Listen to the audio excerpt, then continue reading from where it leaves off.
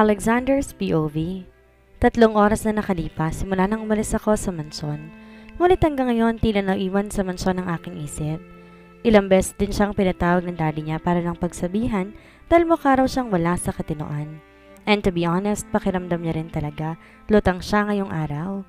Nang tumawag kasi ang kaibigan niyang si Francis, hindi niya inaasahan na naging mabilis ng para dito ang investigasyon ng kanyang asawa.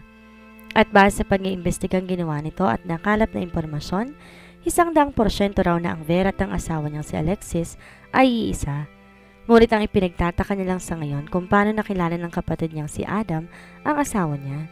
Kung matagal na bang magkakilala mga to at kung paano at saan sila nagkakilala na para bang palagay ang loob ng mga to sa isa't isa. Idagdag pa ang kaibigan niyang si Sean.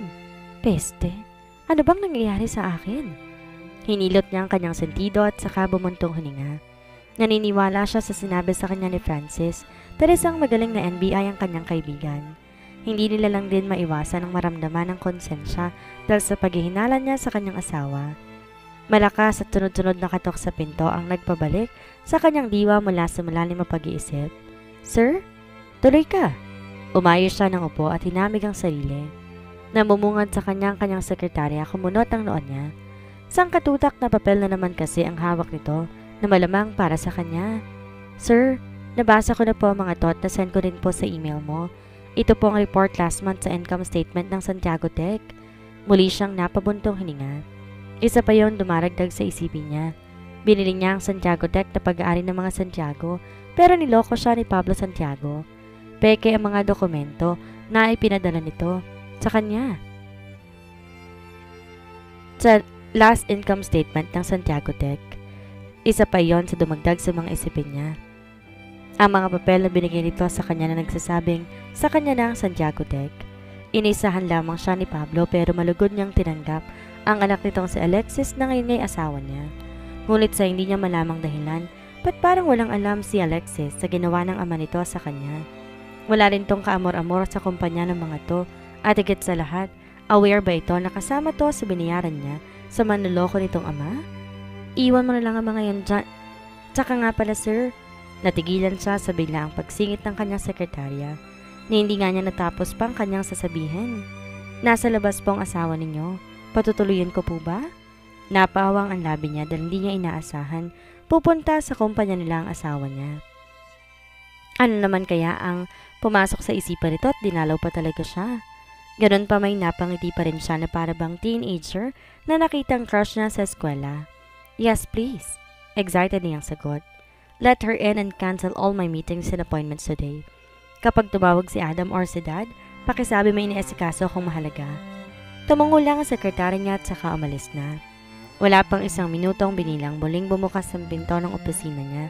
Tumuloy naman ang kanyang asawa. Nakasuot to ng puting long sleeve turtleneck na nakatuck-in sa pantalon nito. Simpleng sandals lang din ang sa pinito sa paa at walang kahit anong kolorete sa mukha. Bahagyang nawala ang ngiti sa labi niya nang matitigan ang kanyang asawa. Seryoso to't wala man lang kangiti-ngiti sa labi. Iba rin ang araw nito ngayon ay pinagtataka niya. Tumayo siya pang salubungin to at gawaran ng hagkan sa labi pero ito na mismo nagkusang umiwas. Baby? Nagtatakang wika niya.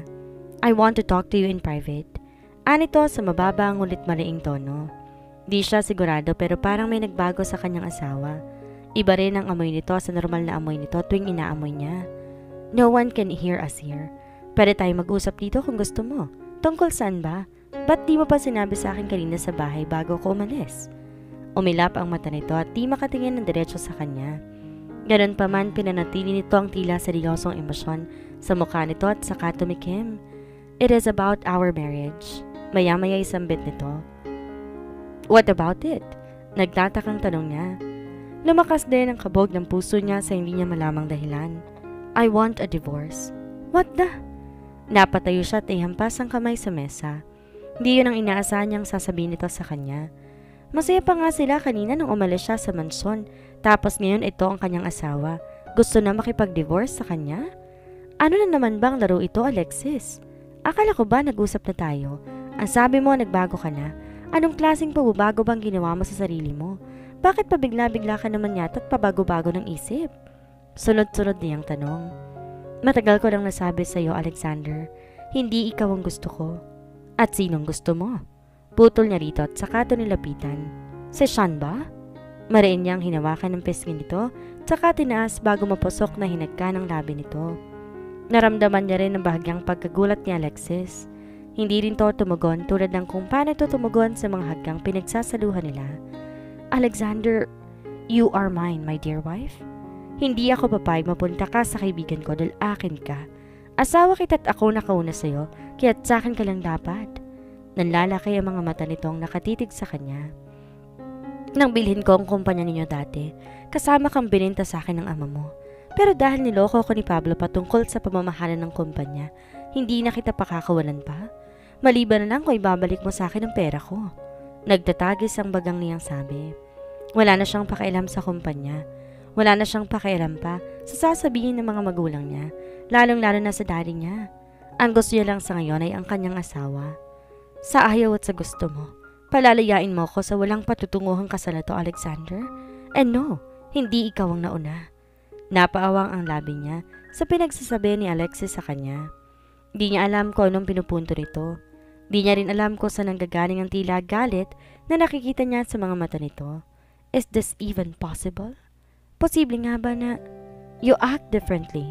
The way you talk, the way you dress, and the anger in your eyes. You seem like you're not my wife. Are you really my wife, Alexis? Bakit? May iba ka pa bang asawa? Tinaasan siya nito ng kilay bago to lumapit sa kanya. May nilapag tong folder sa mesa niya at saka muling umatras. Yan ang listahan ng mga investors at shares of stock ng Santiago Tech. Original copy lahat ng yan. Nais ko lang din ipaalam sa'yo na wala akong alam sa panulokong ginawa sa'yo ni Dad and yes, kasama nga ako sa biniyaran mo. Pero hindi ibig sabihin nun pag-aari mo na ako. Inismeran siya nito at saka akmang tatalikod na, ngunit muling humarap saka nag-iwan ng salita. Ikaw yata ang kakaiba at nagbago. Hindi ka naman kasi ganyan dati at halos isumpa mo rin naman ako. Tell me, in love ka na ba sa akin ngayon? At kung oo, since when? Hindi siya nakapagsalita at tila na umid ang kanyang bibig. Di naman ganito ang kanyang asawa nung iwan niya kanina. Pero bakit ngayon? Ba't parang dito ang asawa niya? Ba't parang napakalamig ng pakikitungo nito sa kanya? Hanggang bumukas ang pinto at lumabas doon si Alexis, takang-taka pa rin siya sa ikinikilos nito. What happened to his sweet and caring wife? Bakit naging tila walang emosyong babae ang nakaharap niya ngayon at parang di niya ito nakasalo sa kama ng ilang ulit para umakto ng ganon sa kanya? Nang walang maisip na kasagutan sa lahat ng gumugulo sa isipan, tinawagan niyang nag-iisa niyang kaibigan. Kagad niya ring pinagtatago ang kanyang sekretarya, ang folder na binigay ni Alexis sa kanya, tsaka nagtungo ng Club V. Kung saan na naturang lugar na pag-aari ng isa sa kaibigan niya, ang kanilang ginagawang tagpuan. Vera's POV Dalawang oras na makalis si Alexander, tumawag naman ng kapatid ni Vera na si Alexis. Ipinaalam itong nakabalik na to sa Pilipinas at sa buhay nila muna tutuloy ng isang linggo. Binigyan din siya nito ng limang araw palugit upang ayusin ang kung anumang dapat ayusin sa pagitan nilang dalawa ni Alexander. Peste, bakit ako pumasok sa gulong to? Naiinis niyang tanong sa kanyang sarili. Nagpunta siya ng kusina para maghanap ng alak. Nais niyang uminom kahit ngayon lang para pansamantalang malimot ang mga problemang meron siya. Ngunit di pa man siya nakakarating sa kusina, bumungad na sa kanya mag-asawang Gafford. Hello dear, Nakangiting bati sa kanya ni Mrs. Gafford. Tila may ko anong bumara sa lalamunan niya at nakailang ulit siyang lumunok. Pinagpapawisan din ang palad niya at bumilis ang pintig ng kanyang puso. Ngayon lang niya nakita ang mama ni Alexander at di niya alam kung paano to pakikitunguhan. Di rin siya sigurado kung nagkita na ba mga ito at ang kambal niya. Hello po, mama? Napahagat labi siya at mga lingaling tumakbo upang iwan ang dalawa. How are you, Alexis? Kamusta kayo ni Alexander? Sunod-sunod namang tanong sa kanya ni Mr. Gafford. Bagya siyang yumuko at saka maling tumingin sa mag-asawa. Ah, uh, okay lang naman po. Naiilang niyang sagot. Um, gusto niyo po ba ng merienda? Bumasok sa opisina si Alexander. Hello everyone! Di niya na naituloy pa ang nais niyang sabihin na bigla ring sumulpot si Adam, ang nakatatandang kapatid ni Alexander. Kung pwede lang umusal siya ng pasasalamat at ama namin sa harap ng mga to ngayon dahil sa pagdating ni Adam, ginawa niya na sana. Hey, how are you beautiful lady? Kinindatan siya ni Adam na kinapanatag ng loob niya. Nakakalata siguro to na nakakaramdam siya ng sensasyon sa sitwasyon niya ngayon. Can I talk to you for a minute? Bumaling din si Adam sa mga magulang nito tsaka inawakan ng braso niya. Mom, Dad, iramin ko na muna itong si Hipag. Di na nito hinintay pa ang magulang nito at hindi na nga siya paalis ng manson. Nagtungo sila sa mini garden sa gilid at umupo sa rata na duyan. Anong ginagawa niyo dito? Ba't bigla-bigla kayong sumusugod ng walang pasabi? Peste ata kayo ako sa puso nung dahil sa pamina niyo eh. Sunod-sunod niyang sabi kay Adam. Wala ka talagang ideya? Balik tanong naman sa kanya ng binata. Magtatanong ba ako kung meron? Hinawin nito ang kunot sa kilay niya at saka ito sumagot. Birthday ni Alexander ngayon. Since hindi mahilig ang bugok na yun sa mga ingranding selebrasyon, kami-kami lang nagsiselebrate and mom wanted to cook for her younger son of course. Paglalahad nito sa kanya. Napaawang ang bibig niya at kagad tumayo. Hindi niya alam na ngayon ang birthday ng Alexander Caffer na yon at hindi po pwedeng wala siyang may regalo sa lalaking yon. Hey, where are you going? Nagtatakang tanong ni Adam sa kanya. Sa sobrang pag-iisip, hindi niya namalayan. Sinusundan pala siya nito. Hindi mo malang ako tinimbrihan. Birthday pala ng bugok mong kapatid. Bibilan ko siya ng regalo para naman matuwa siya sa akin. Sagot niya naman. Tuloy-tuloy siyang dumiretso sa loob ng manson. Tumuloy na rin sa silid nila. Di niya na pinansin pa ang nagtatakang itsura na mag-asawang Gafford habang nakasunod ang tingin sa kanya. Nagpalit lang siya ng damit, isang simpleng maong jeans at crop top na puti, tsaka niya inipit pataas ang buhok niya. Di na rin siya nag-makeup dahil kailangan niya magmadali. Anong oras na rin kasi baka umuwi na magaling niyang asawa ko no. Kinuha niyang bag niya at cellphone, tsaka lumabas ng silid. Pagkalabas niya, muntik na siyang mapatili dahil waling bumungad sa kanyang harapan ang nakangiting si Adam. Baka kailangan mo ng driver. Anito sa nakakalokong paraan. Pwede naman ako. Hinila niya na lang ang kwelo ng suot nitong polo, tsaka naglakad na ulit palabas ng manson. At muli, ang nagtatakang itsura ng mga magulang nito hindi niya pinansin. Ni hindi nga rin nila nakuha magpaalam pa. Pagkasakay ng kotse ni Adam, kaagad na nitong pinandar. San tayo, madam? Nangaasar pa nitong tanong habang napapailing. Mall. Maikling sagot niya na lamang. Bakit pakiramdam ko excited ka para sa birthday ni Alexander? Tanong nito at bahagya siyang binalingan bago muling tumuon ang tingin at atensyon sa daan. Pwes, mali ang pakiramdam mo. Dumungaw na lang siya sa bintana at di na pinansin pa si Adam na mukhang mabawasak ng labi sa lawak ng pagkakangiti. Wala siyang ideya kung ano nga ba ang gusto ni Alexander, kung saan tumahilig, kung anong paborito nitong kulay at kung ano nga bang bagay na po pwedeng makapagpasaya dito. Pagkarating nila sa mall, nagtanong-tanong siya kay Adam kung ano ba ang pwedeng irigalo sa kapatid nito. Pero niloloko lang yata siya ng Adam na to. Regaluhan mo ng proteksyon since mahilig namang wala ka talagang kwentang kapatid. Piningot niyang tenga ni Adam na siyang kinasimangot naman ito. Ang sakit ha? Nakasimangot at tinignan siya nito na masama bago umingos. Kau nang ang tinutulungan? Kau pa mapanakit dyan? Inirapan niya lang to bago tumuloy sa isang jewelry shop na pag-aari ng mga Alejandro. Ilang beses niyang nabasa sa magazine at napapanood na rin sa TV ang pamilya Alejandro. Ganun pa man, di naman siya interesado sa mga ito. Wow! Yaman naman pala ng hipag ko. Pangaasar ulit sa kanya ni Adam habang bumubuntot to sa likuran niya. Sa dami na nagaganda ang alahas na meron sa loob ng shop, hindi siya makapili kung anong ireregalo niya kay Alexander.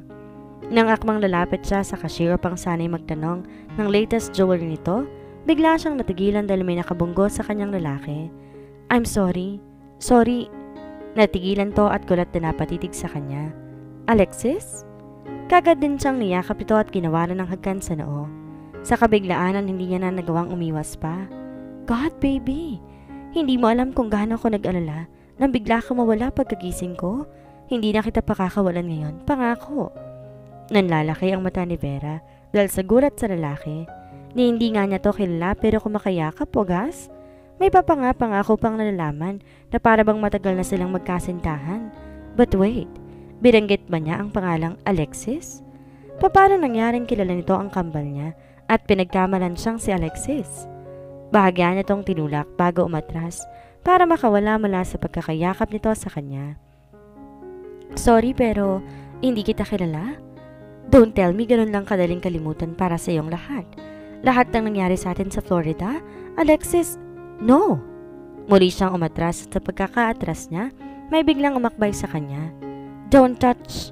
Is everything okay here? Tanong ni Adam mula sa likuran niya.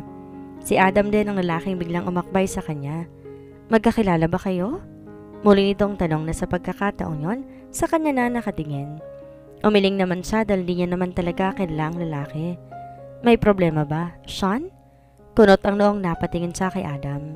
Narinig niya na ang pangalang Sean pero hindi niya matandaan kung kanino at kailan. Hindi rin siya sigurado pero pamilyar sa kanya ang pangalang binanggit ni Adam. Titig na titig lang sa kanyang lalaki na siya ng pangalan hanggang napahilot na lang to sa kanyang sentido. Sorry, akala ko ikaw si... Tumikim ito at saka umiling. Kamukha mo lang kasi. Sorry. Matapos yun bali walang umalis na si Sean. Pero hanggang sa makalis ang lalaki, ay tinatanong niya pa rin ito ng tingin. Ano? Nagapuhan ka? Sunod-sunod namang tanong sa kanya ni Adam. Sinikmuraan niya nga. Kilala mo ba yon? Kuryosong tanong niya kay Adam habang namimili ng kwintas na babagay kay Alexander. Binanggit niya ang pangalan ni Alexis. That's Sean Berberabe, isa sa mga kaibigan ni Alexander. Baka magkakilala sila ni Alexis. Bale walang sagot naman ito. In fairness kay Sean ha, alam niya ang pagkakaiba ninyo ng kambal mo. Natigilan siya. Oo nga talos walang sino man na makapagsasabi kung si Alexis at sino, si Vera, sa kanilang dalawa na kambal niya. Pero, kahit na ganon, bakit si Sean alam ko sino sa kanilang dalawa si Alexis? Humarap siya kay Adam at tinanong ito. Paano mo nasabing si Vera ako at hindi si Alexis? Well, hindi ko pa nakikita ang kambal mong si Alexis. Kaya naman sa boses mo ko bumabase? Memoryado ko ang boses mo whenever you're happy, eh, sad, angry, and even when you are excited. Mahabang sagot ito. Pero siguro ka nakita ko ang kambal mo, may tendency na magkamali din ako. Dugtong pa nito. Kung ganon, so sa tingin mo, may tendency ding makilala ni Alexander kung sino si Vera at Alexis sa aming dalawa ng kambal ko? Maybe yes and maybe no. Kurot ang noong sagot nito bago siya tinitigan. Kapag ang lalaki kasi pusong pinairal, nagiging bulag. So if my brother is in love, malamang bulag yon. What do you mean? Hindi niya pinaniniwalaan kung anong nakikita niya kasi ang pinapairal niya ngayon ay ang puso niya. Mahabang sagot naman ito. Ibig sabihin posible kayang unti-unti nang nahuhulog si Alexander sa kanya? Unti-unti na kasi siyang nakakatuloy sa puso nito. Pero paano kung mahal nito ay si Alexis at di naman talaga siya? Sa bagay kahit saan man tingnan, babalik na rin man niya ang pangibaba niya. Si Alexis pa rin talaga ang legal na asawa at hanggang pagpapanggap lamang ang role niya. Napabuntong hininga siya at inabala ang kanyang sarili sa pamimili ng kwintas bilang regalo kay Alexander. Excuse me, magkano to? Nilabas ng kahera ang makitang stud earrings. Maliit lang yon Hugi Star. Nakitan siya kaya naman gusto niyang bilhin. 15,000 po ma'am.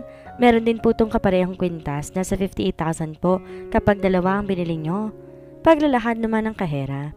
Di naman suma ang presyo dahil pure gold with a small cut diamond din ang hikaw. Sige, kukunin ko to. Nagatubili ang kahera. Akmang pupunta niya si Adam nang ina sa labas ng shop at may kausap na babae na may pumukaw sa kanyang atensyon. Isang gold bracelet at mukhang panlalaki. Di ganon kakapal pero di rin manipis. Tama ang sukat pero nakakamanghang itsura. Ah, uh, miss, ito magkano to? Napangiti ang kahera sa bracelet na ituturo niya. 35,000 po ma'am. Limited edition lang po yan at yan lang din po ang natitira. Anang kahera bago kinuha ang bracelet at ipinakita sa kanya. Ang mismong may-ari po ng jewelry shop na ito ang nagdisenyo ng bracelet na to. It was a Melora Tetris Tribe gold bracelet na na-feature din po sa naganap na subastahan sa New York City. Mahabang sambit pa nito. Pinakatitigan niya naman ang bracelet na sa tingin niya, bagay na bagay kay Alexander. Napangiti siya sa kaisipang magugustuhan itong ireregalo niya para dito. Sige miss, bibilhin ko rin to. Pakipunch na lang ulit sa credit card ko. Mabilis proseso ng kahera ang mga binili niya at nang matapos, nilagay sa kani-kaniyang box sa mga alahas. Kagad din niyong iniabot sa kanya habang siya na may umusan lang ng pasasalamat. Pag alis niya ng shop, naroon pa rin si Adam sa bandang gilid habang kausap pa rin ang babaeng kausap nito kanina. Hindi niya alam kung mag-uusap o nag-aaway dahil matalim ang tingin ng babae kay Adam. Mula sa likuran, yumakap siya sa bewang ni Adam. Inaasar ito upang lalong mainis dito ang babae. Let's go, honey. Nalingat lang ako saglit nang bababae ka na? Tinaasan siya ng kilay ni Adam bago mamaning sa babaeng gulat na nakatingin sa kanya. Huwag kang maniwala sa mga pinagsasabi ni dear. Tatlo ng anak namin. What the? Let's go! Di niya na iniyan pa magsalita si Adam. Hihina na to palayo sa shop. Masyado na silang nalilibang at tumatakbong orasan.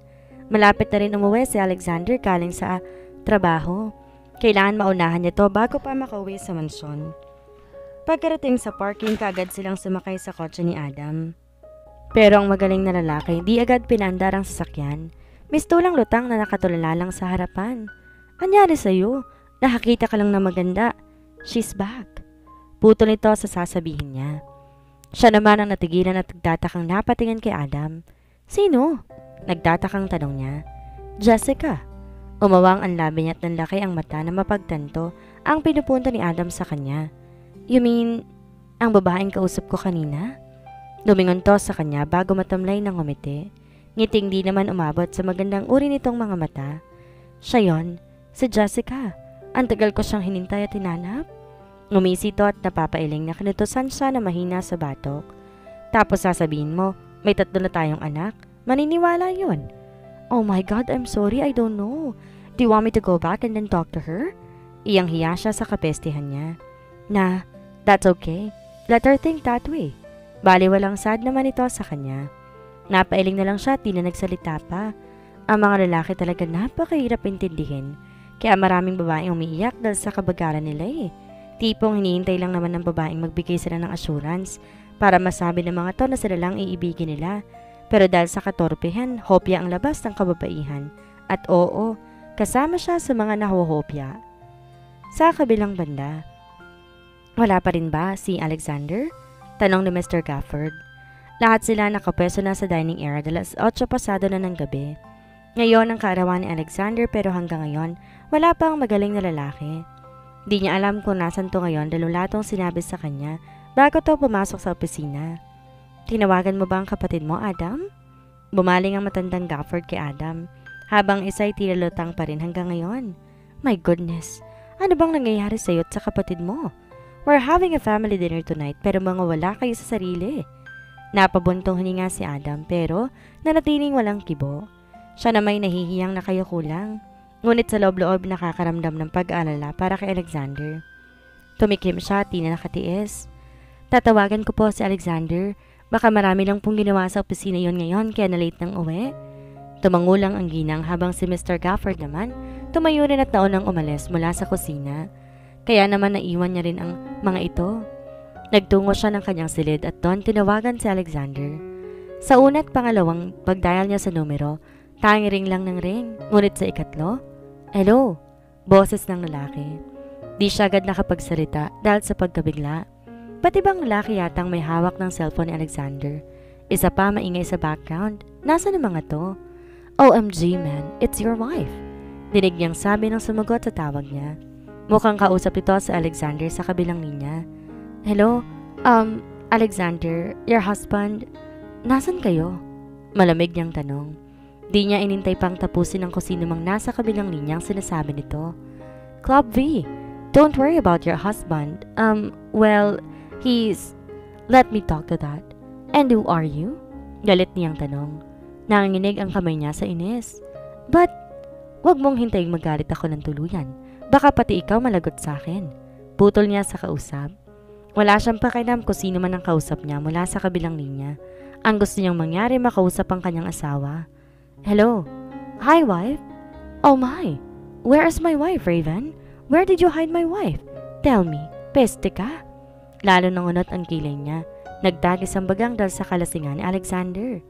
Halata sa boses ang pagkalango sa alak habang may kinakausap sa kabilang linya. Kung di siya nagkakamali, malamang nang sumagot sa tawag niya at ang Raven na kausap ni Alexander ay iisa. Galit na pinutol niya ang tawag. Nagpupuyos ang kaloobang bumalik sa kusina. Mabuti nilang din wala doon ang ina ni Alexander at tayong si Adam naratang lutang pa rin ang naiwang mag-isa sa mesa. Hey you, tigilan mo ang kaparingan mo ngayon at ipag-drive mo ko. Walang pakialam niyang utos dito. Tumingin sa kanya si Adam pero mukhang blanco pa rin ito. Hinawakan niya to sa braso at pilit na hinila papatayo. Samahan mo ako sa Club V. Nandoon ang magaling mong kapatid. Nanatili lang tahimik si Adam. Tulala pa rin at parang walang narinig. Peste ka? Kapag hindi ka umayos, ipapahuli ko sa Jessica. Tsaka lang lumingon sa kanya si Adam matila galit at may kung emosyon sa mata nito na di niya mabigyang kahulugan. Napangisi siya.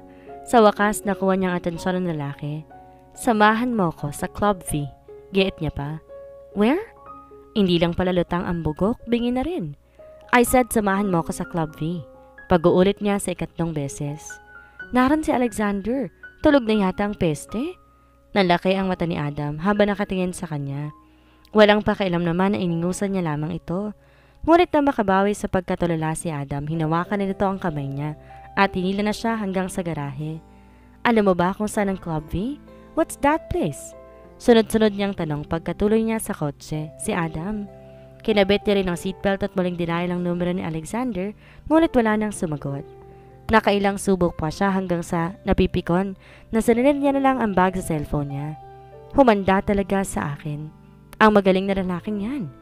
Bubulong-bulong niyang sabi, tsaka bumaling ng tingin kay Adam. Ikaw naman tinatanong kita, pero di ka sumasagot. Ano bang nangyayari sa'yo? Nakita mo lang ang da- dami mo pang pagsintang pururot? Tinakasan ka na ng kaluluwa?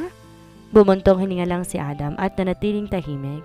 Pero maya-maya ay sumagot din to sa una niyang katanungan. Pag-aari ni Ronaldo ang Club V. Ronaldo is one of Alexander's closest friends. Tumango lamang siya at di na nag-usisa pa. Humalokip-kip na lang din siya sa tabi habang kinakalmang sarili. Ayaw niya mag-isip ng kung ano pero iba ang pakiramdam niya sa gabing to. Para bang kinakabahan siya na hindi niya mawari. Nag-abala pa siyang mag-ayos. Nagbihis ng maganda. Bumili pa ng regalo pero ang bugok nasa club. Lango sa alak.